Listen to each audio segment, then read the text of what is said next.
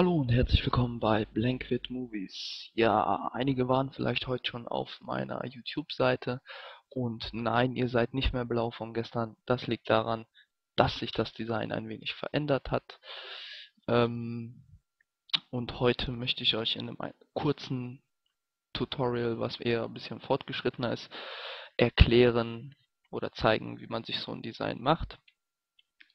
Äh, die, die jetzt noch keine Ahnung haben, überhaupt keine Ahnung von YouTube Designs haben, gucken am besten am Schluss des Tutorials nochmal in der Videobeschreibung, da ist ein Link zu einem anderen Design Tutorial von mir, wo ich auch halt die Grundlagen mit Fireshot und sonstigem erkläre, also einfach meine Beschreibung nachschauen. Jo, wir gehen mal ins Photoshop und da habe ich jetzt auch schon meinen Fireshot Screenshot vom alten Design natürlich noch geöffnet und hier muss ich jetzt wie gewohnt erstmal das Ganze rauskopieren, was nicht zum YouTube hier oben gehört. Und dazu schneide ich mir das einfach aus und mache mir dann eine neue Datei mit den Maßen, die er mir vorgibt. Und dort füge ich das Design dann ein.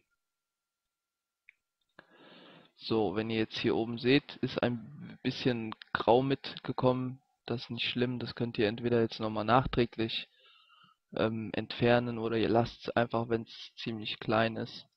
Ist das nicht so schlimm. Ich mache es jetzt nochmal weg. Ich will ein ordentliches Ergebnis haben. So.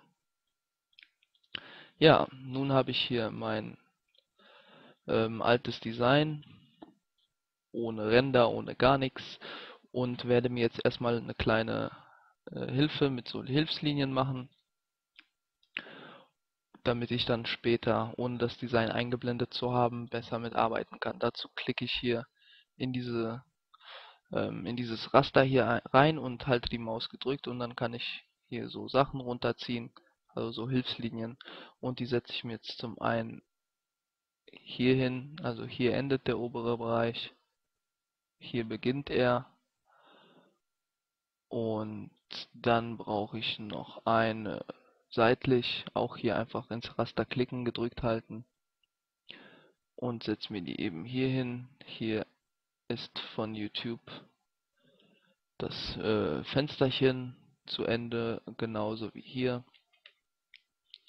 Und somit habe ich schon mein Raster. Jetzt kann ich mir noch für diesen unteren Bereich hier eine Hilfslinie anziehen, ein bisschen drüber setzen großzügig wollen wir ja sein. Und ja, dann habe ich das eigentlich schon getan und dann kann ich vorerst auch erstmal mein Design ausblenden und mit dem Hintergrund anfangen.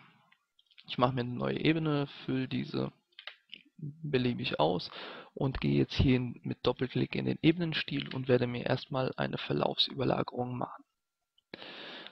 So, wie es jetzt im Design im aktuellen ist, ist das ein bisschen sommerhaft, schwimmbadmäßig. Zwar alles schön in blau gehalten, deswegen mache ich mir hier ähm,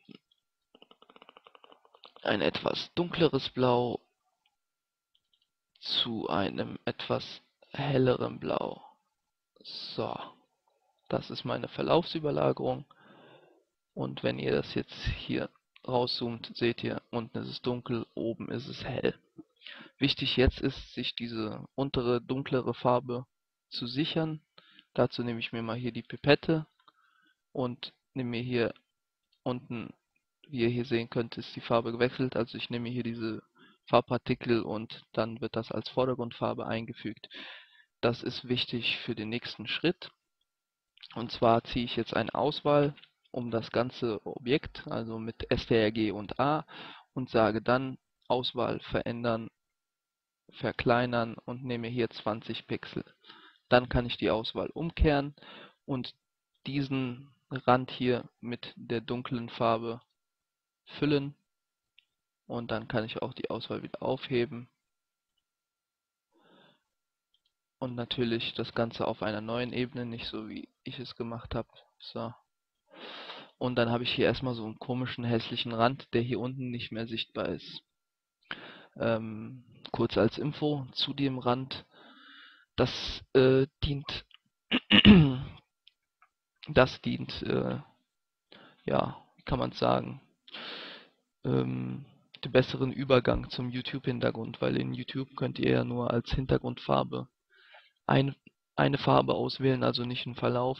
Und deswegen ähm, werde ich dann diese dunkle Farbe im YouTube als Hintergrund wählen und habe dann einen besseren Übergang.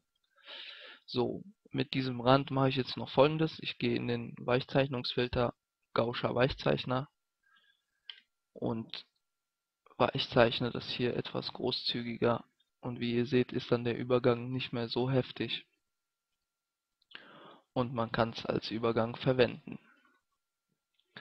So, nun können wir uns unsere Oberfläche machen, ähm, wie wir das hier in grün hatten oder wie ich es in grün hatte, sagen wir es mal so. Ähm, ja, für die ganzen YouTube-eigenen Sachen quasi, die das Ganze hervorheben soll. Es soll ja nicht nur ein Hintergrund sein. Ja, ähm, dazu habe ich jetzt, wie auch letztes Mal schon, das abgerundete Rechteck genommen, weil ich das besser finde, wenn es nicht so kantig ist. Und hier habe ich auch einen Radius von 20 Pixeln drinne. Das ist halt der Radius der Rundung, die dieses abgerundete Rechteck haben soll. Ja, jetzt kann ich mir hier hingehen auf diese Linie beispielsweise und ein bisschen großzügiger an was die Seiten betrifft ähm, vorgehen und mir das so weit runterziehen, wie ich es haben möchte. Ich mache es jetzt mal nicht ganz nach unten und dann ziehe ich mir dieses abgerundete Rechteck hier hin und kann die Ebene dann auch erstmal rastern und am besten diese schon umstylen und dazu mache ich wieder eine Verlaufsüberlagerung in den Farben ähm, nehmen wir mal ein dunkleres Blau am Ende, ein helles Blau in der Mitte und ein dunkleres Blau am Anfang. Und dann kann ich mir angucken, wie das so in etwa aussieht. Ja, das gefällt mir. Jetzt werde ich hier nochmal den Hintergrund etwas anpassen, weil mir die untere Farbe doch nicht so sehr gefällt. Ein bisschen zu dunkel ist. So, ja, so sieht das schon etwas besser aus. Und nun kann ich dem noch einen schönen Rahmen geben, damit man das auch besser unterscheiden kann. Dazu mache ich nicht jetzt wie gewohnt hier im Ebenenstil eine Kontur rein, sondern nehme mir die Auswahl von der Form hier, einfach STRG gedrückt halten und auf das Ebenenfenster hier klicken. Dann zieht er euch die Auswahl und dann gehe ich auf ähm, erstmal eine neue Ebene und dann auf Bearbeiten, Kontur füllen. 5 Pixel ist jetzt der Wert, den ich haben möchte. Ich möchte sie in so einem etwas dunkleren Grau haben. Und er soll sie mir mittig machen. So, dann bestätige ich das Ganze, kann die Auswahl wieder aufheben. Und wie ihr hier vielleicht sehen könnt, hat er jetzt eine Kontur erstellt. Ich werde das jetzt nochmal rückwirkend umändern, indem ich vielleicht das Ganze mal auf Außen stelle. Und das gefällt mir doch um einiges besser, dann ist die Kontur auch doch etwas größer und stärker. Die Farbe könnt ihr dann hier über Doppelklick und Farbüberlagerung auch immer noch ein bisschen anpassen, heller, dunkler machen. Machen es mal in dem Beispiel jetzt vielleicht ein bisschen dunkler. Und dann habt ihr das soweit schon fertig. So, nun können wir hier diese Schnittpunkte noch setzen, damit sich das obere vom unteren trennt, genauso wie diese zwei Bereiche. Und dazu hatte ich ja hier meine Hilfslinie gemacht für den oberen und unteren Bereich. Ähm, ich mache mir jetzt hier einfach eine Auswahl mit dem Auswahl-Rechteck-Werkzeug und der setzt die euch automatisch hier in diese Linien rein. Also wenn ihr dann mit der Maus hier in eure Hilfslinien klickt. So, die kann ich mir jetzt einmal von natürlich nicht von der Ebene, sondern von der Formebene hier einmal entfernen. Genauso wie von der Konturebene.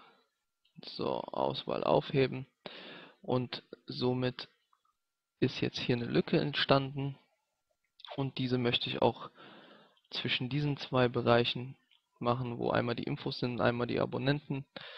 Dazu muss ich mir jetzt auch nochmal so eine Hilfslinie ziehen, die ich vorhin vergessen hatte. Einmal hierhin und einmal hierhin. So.